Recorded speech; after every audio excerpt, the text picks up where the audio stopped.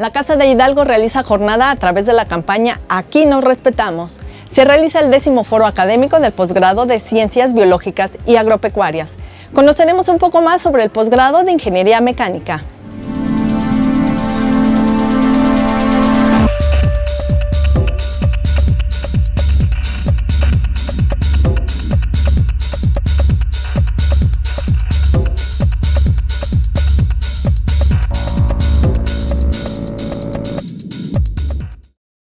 ¿Qué tal amigos? Con el gusto de cada semana los saludamos en su programa Los Nicolaitas, producido para todos ustedes por la Universidad Michoacana de San Nicolás de Hidalgo. Saludamos también con mucho gusto a nuestros amigos que nos escuchan a través de XESB Radio Nicolaita. Tenemos 30 minutos de información que compartir con todos ustedes, así que damos inicio con los acontecimientos universitarios.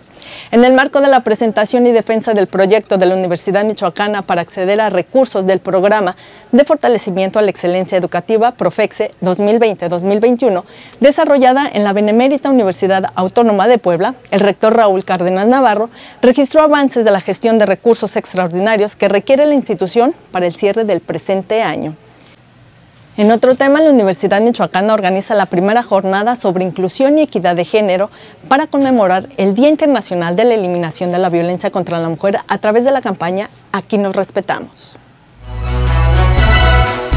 Motivo del Día Internacional de la Eliminación de la Violencia contra las Mujeres, la Casa de Hidalgo inició las jornadas sobre inclusión y equidad de género dentro de la campaña permanente Aquí nos respetamos. Durante la presentación de la primera jornada, en rueda de prensa, el secretario general Pedro Mata Vázquez aseveró que en la Universidad Michoacana se impulsarán acciones que darán lugar a la cero tolerancia ante las manifestaciones de acoso y violencia de género.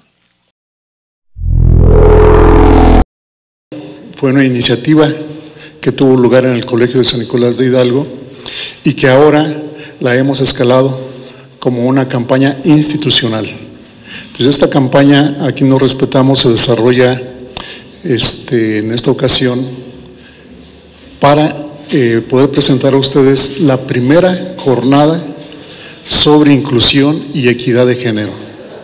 Ya el título de estas jornadas anuncia que de manera permanente estaremos haciendo jornadas sobre inclusión y equidad de género. La campaña Aquí nos respetamos es permanente y participa toda la comunidad universitaria. El compromiso de cada una de las dependencias se plasmó a través de la firma de la declaratoria en favor de la no violencia y la sana convivencia en la Casa de Hidalgo.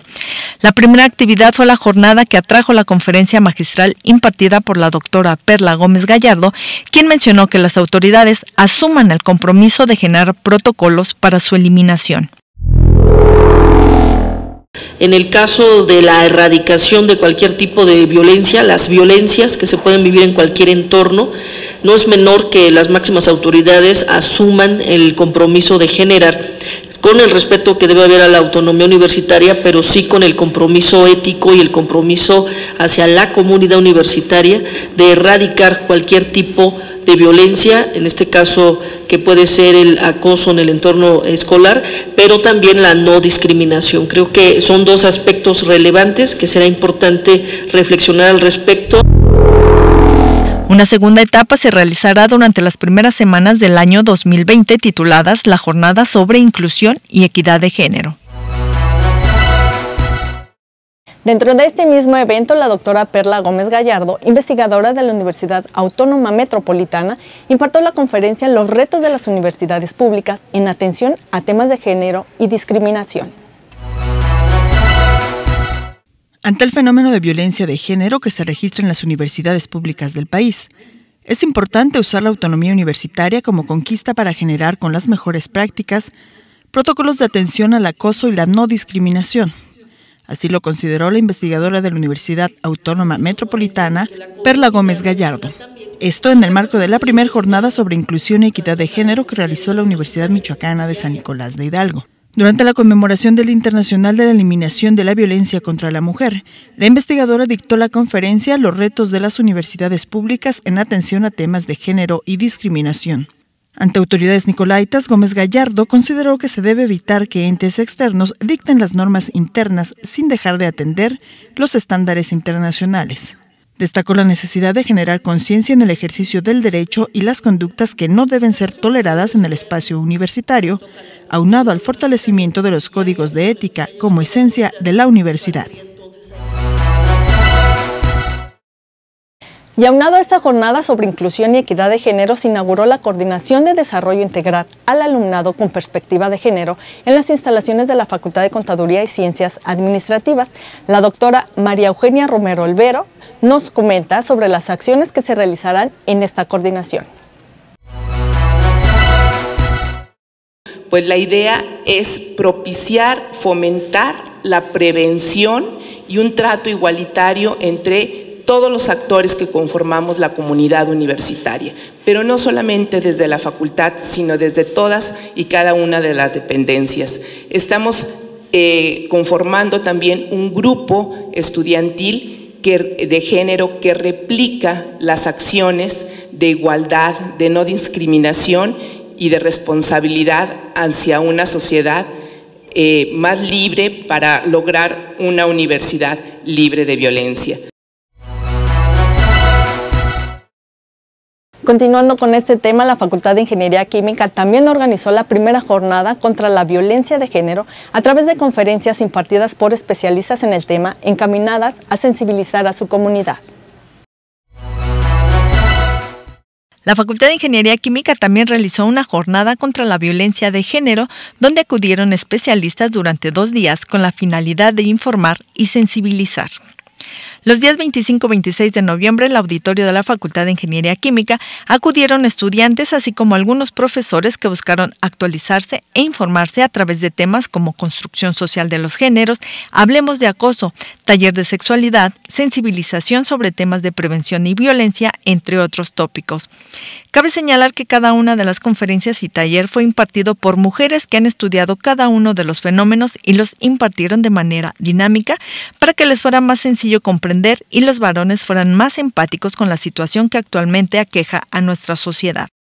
La información es la mejor herramienta para saber cómo actuar ante posibles situaciones que generan violencia, sensibilizar y reaccionar ante estos hechos. La violencia de género no solo ocurre a las mujeres, también a los hombres y se tiene que hablar.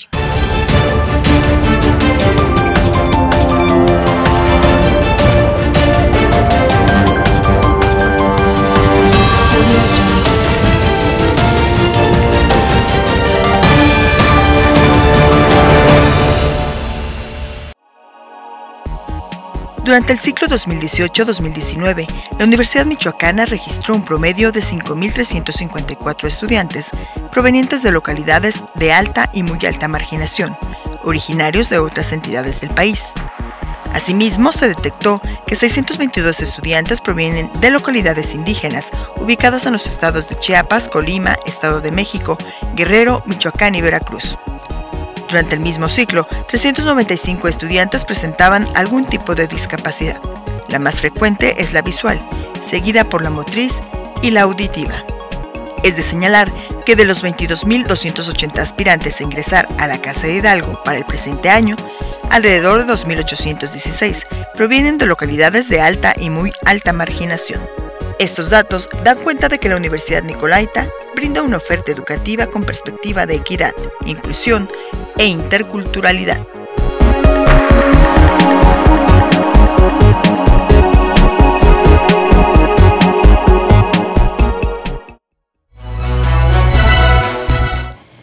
Antes de ir a pausa, queremos felicitar a la comunidad de la Facultad de Agrobiología Presidente Juárez, allá en Uruapan, quienes celebran su 63 aniversario de fundación.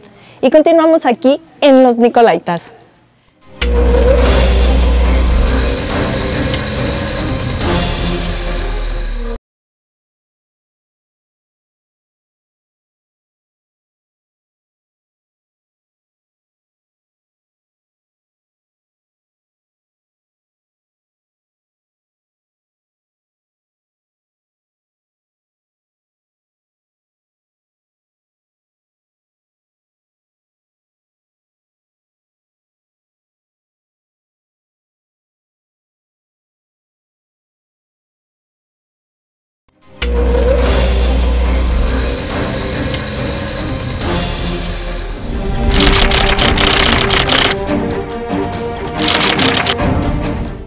¿Qué tal amigos de los Nicolaitas? Ya nos encontramos en esto que es la sección de entrevista aquí en su programa de la Universidad Michoacana de San Nicolás de Hidalgo.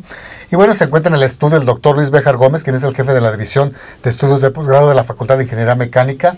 Con él vamos a hablar precisamente acerca de la oferta académica que tienen ellos, porque están ya próximas las fechas para la recepción, tanto de documentos también como para el proceso que se lleva a cabo con esto que es las maestrías y los posgrados aquí en la Facultad de Ingeniería Mecánica. Doctor, gracias por acompañarnos. Hola, muchas gracias por la invitación.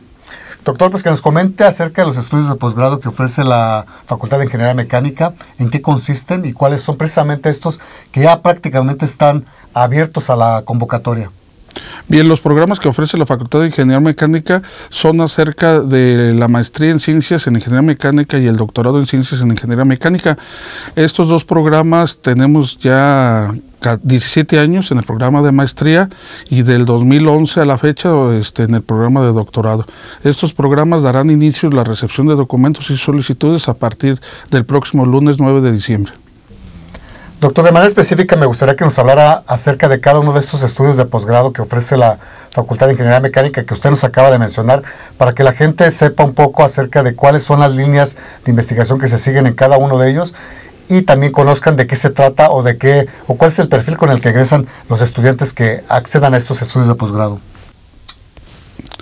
Las líneas de investigación que se desarrollan dentro de los dos programas son la de diseño mecánico y materiales, termofluidos y la parte de diseño térmico.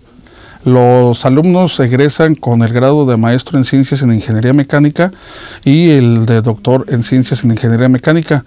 Ambos programas están dentro del padrón de excelencia del CONACIT, el de maestría en nivel consolidado, el de doctorado en proceso de consolidación.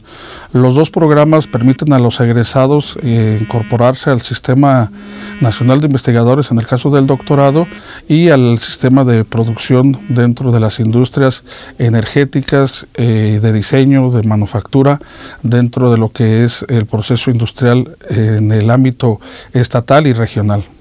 Doctor, ¿qué necesidades vienen a cubrir ese tipo de, programas de posgrado, tanto en la maestría como el doctorado, para lo que es el desarrollo precisamente de la ingeniería mecánica en el Estado? Las principales necesidades que cubren ambos programas son en el área de diseño mecánico, procesos de manufactura que actualmente se manejan mucho en la región de, Michoacán, así como el aprovechamiento de la energía renovable, tanto eólica como térmica, básicamente. Doctor, en varias ocasiones hemos hablado aquí en el programa acerca de la realidad con la que trabaja la ingeniería mecánica en la Universidad Michoacana, que muchos están enfocados de repente a lo que es eh, la cuestión de los coches, de los autos, que mucha gente cree que es precisamente eso. Sin embargo, quisiera que nos comentara, dentro de esas líneas de investigación existe lo que es la robótica, lo que es la mecatrónica. Quisiera que nos ampliara si en estos programas de posgrado se llevan a cabo este tipo de investigaciones o de estudios sobre estas áreas específicamente. Bueno, el área de ingeniería mecánica es muy relacionado con la parte automotriz. No, sin embargo, estamos trabajando actualmente con un núcleo académico básico de 15 investigadores, en base a los cuales sus proyectos de investigación, tanto en el Sistema Nacional de Investigadores por medio del CONACIT, así como en la Coordinación de Investigación Científica, se están apoyando actualmente 18 proyectos. Estos proyectos eh, involucran cuestiones de robótica, de procesos de manufactura, manufactura, diseño mecánico, aplicaciones biomédicas de algunas aleaciones que actualmente se están utilizando para las cuestiones eh, de ingeniería em, en, bioingeniería, afortunadamente contamos con cuatro profesores que están trabajando en esta área, en robótica 3, en sistemas electrónicos y de transformación, algunos profesores más. Dentro de las líneas de investigación del aprovechamiento de recursos renovables, tenemos cuatro investigadores que están desarrollando proyectos eh, referente al apoyo con Comisión Federal de Electricidad, algunas otras instituciones involucradas en el aprovechamiento de la energía y más que todo la energía sustentable.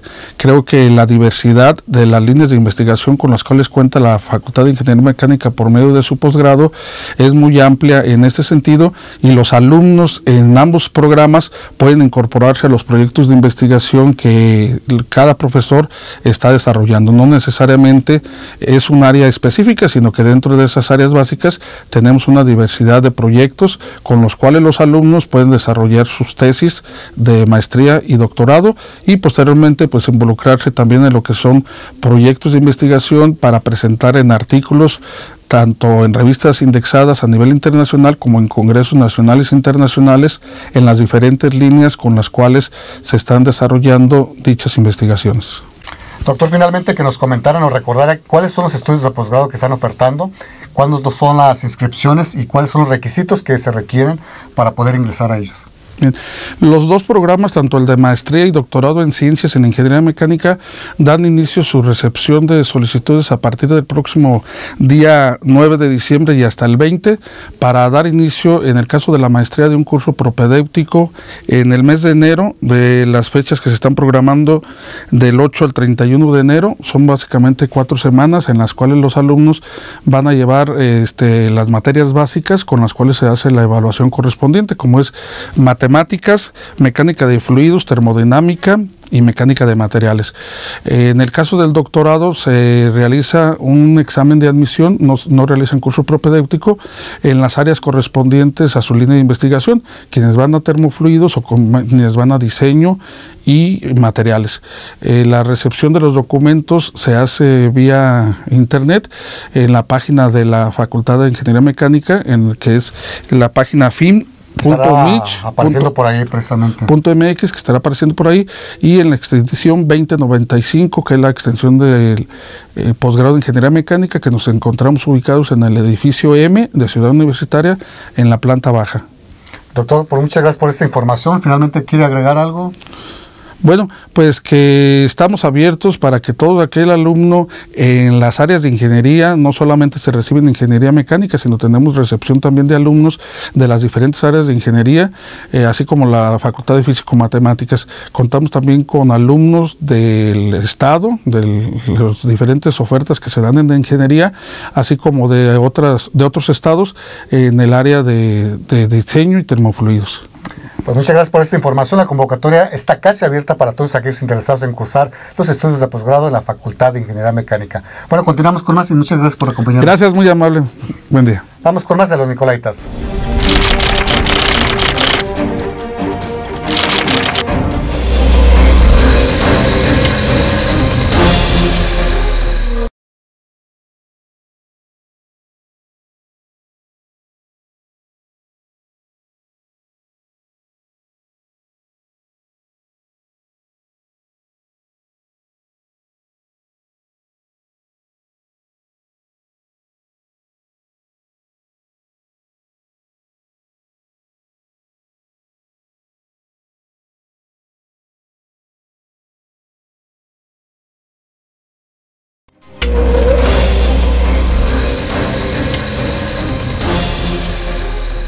En otro orden de ideas se lleva a cabo el décimo foro académico de ciencias biológicas y agropecuarias, donde se intercambiaron durante dos días conocimientos y experiencias recientes en el desarrollo de las diferentes líneas de investigación científica y tecnológica. Vayamos con los detalles. Se realizó el décimo foro académico del posgrado de Ciencias Biológicas con el objetivo de reunir a la comunidad de la DES, el vincularlo con los sectores público y privado. Se presentaron 90 ponencias de las diferentes líneas que se trabajan en el desarrollo científico y tecnológico de la Casa de Hidalgo. La coordinadora del foro, Esperanza Meléndez Herrera, mencionó que fue un espacio propicio para la vinculación con el sector público, científico y privado y conozcan los estudiantes las áreas de oportunidad que existen. Ahorita los chicos están incursionando en el área de epigenética, eh, eh, están incursionando en otras modalidades como en, eh, inmunomodulación. Hay muchísimas áreas de oportunidad. De verdad ahorita tenemos la ventaja de contar con, con múltiples investigadores que están haciendo ciencia de frontera. La declaratoria inaugural estuvo a cargo de la doctora Rosa Elba Norma del Río Torres, coordinadora general de estudios de posgrado, quien a nombre del rector Raúl Cárdenas Navarro invitó a los estudiantes a aprovechar la oportunidad que les brinda este evento para compartir y conocer la experiencia de reconocidos académicos. El abanico de líneas de investigación es muy amplia dentro de la desde biológica y agropecuaria. Dentro de este foro destacan trabajos desde neurociencias, epigenética inmunomodulación que son consideradas como áreas de oportunidad. La investigación tiene como interés básico generar conocimiento que tenga alcances en el sector social, que la gente conozca lo que está haciendo la Casa de Hidalgo y por ello se les capacitó también para aprender a divulgar. Así lo mencionó Esperanza Meléndez Herrera. Eventualmente estamos interesados en que esta, esta investigación que hacemos tenga alcances en el sector eh, en el sector eh, social, que la gente conozca lo que hacemos. De hecho, eso se me olvidó decirles que también tenemos un taller o bueno, una conferencia de divulgación de la ciencia. Para nosotros es muy importante que la gente sepa qué es lo que estamos haciendo. Generalmente como investigadores se nos complica muchísimo la difusión, muchísimo. Siempre estamos como... Eh, como en nuestros laboratorios haciendo nuestra investigación y se nos dificulta muchísimo hacer asequible ese conocimiento para el público. Durante los dos días de trabajo se dieron cita a 140 asistentes, 90 ponencias y 50 en formato de cartel, además de seis conferencias magistrales, mesas de análisis, un mini taller sobre gestión de recursos y un concurso de fotografía científica. El Instituto de Investigaciones Metalúrgicas tiene abierta actualmente la convocatoria de su maestría en Geociencia y Planificación del Territorio. Vayamos a conocer todos los detalles. El Instituto de Investigaciones en Ciencias de la Tierra, INICIT, de la Universidad Michoacana, abrió la convocatoria de ingreso para el programa de maestría en Geociencias y Planificación del Territorio, misma que inicia el próximo marzo. El posgrado tiene como propósito generar recursos humanos con una formación sólida hacia la investigación y un alto nivel de conocimientos y experiencia científica en el área, para coadyuvar en la solución de problemas específicos de la región. Cuenta con un núcleo académico conformado por profesores e investigadores con el grado de doctorado por reconocidas instituciones nacionales y extranjeras. El registro ya está disponible y pueden tener mayor información en la página oficial www.geociencias.umich.mx o acudir al edificio U3 de Ciudad Universitaria o bien comunicarse al teléfono 443-322-3500, extensión 4011. Y en la movilidad estudiantil le presentamos en esta ocasión a Luis David Guzmán Vargas. Él es estudiante de cuarto año de la licenciatura en Derecho y Ciencias Sociales aquí en la Casa de Hidalgo, que realizó una estancia en la Universidad de Valencia, España, con un proyecto de dos temas de investigación.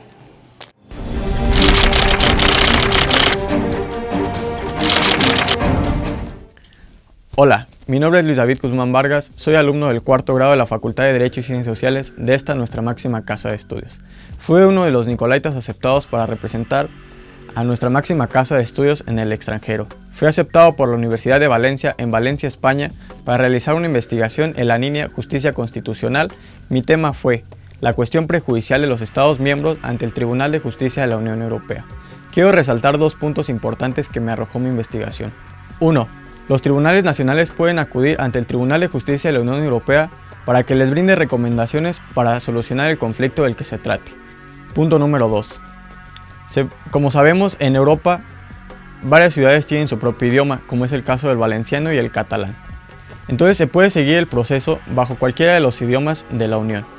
Eh, aprovecho este espacio para invitar a, a la comunidad nicolaita a aprovechar y a participar en las convocatorias de movilidad.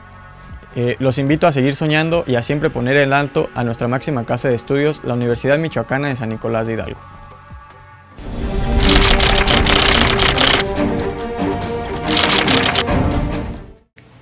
Antes de despedirnos, queremos felicitar al equipo de Panorama Ambiental, donde participan estudiantes y profesores nicolaitas, quienes a través de la gestión de proyectos de desarrollo sostenible, energías renovables, manejo de biodiversidad y educación ambiental, celebran tres años ya de trabajo, de intenso trabajo y felicitamos todo el equipo a todos ellos. Bueno, y con esta información nos despedimos, los esperamos la próxima semana aquí en Los Nicolaitas. Soy Yuri Servín, hasta entonces.